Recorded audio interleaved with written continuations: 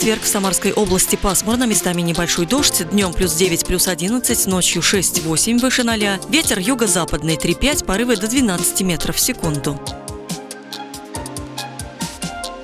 В Сызрани пасмурно с прояснениями. Днем плюс 11, в темное время суток плюс 8, юго-западный 5 метров в секунду. В Тольятти тучи, днем плюс 10, ночью 7 тепла, юго-западный 5 метров в секунду.